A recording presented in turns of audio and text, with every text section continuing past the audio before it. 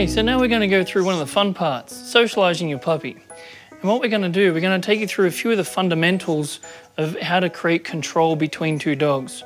So they understand that when there's an interaction, that you're in control, you're in charge of what's happening.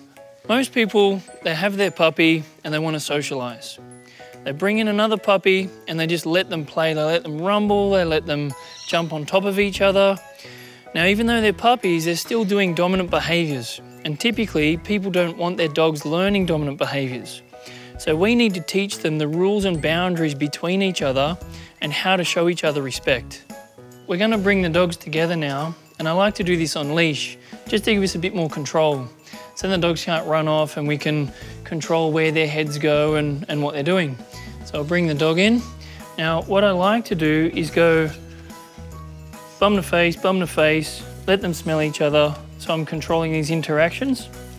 Now what I don't want to allow is for a dog to put anything over the top. So if one dog jumps onto another dog, I need to be able to disagree.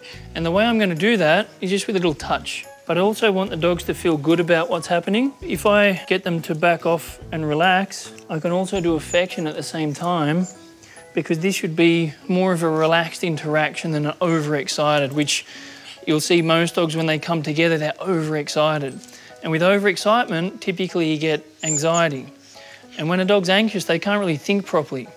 So when a dog becomes overexcited and anxious, sometimes you might get aggression, sometimes you might just get too much tension, and that's when one of the dogs can get snappy. And they can also give off the wrong signals to each other. So if one dog's really tense, then the other dog will get tense and they can infect each other with energy until it escalates to a point where they're very difficult to control.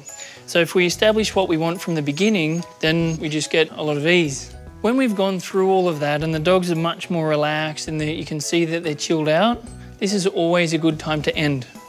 Because how you finish will be more how you'll begin the next time.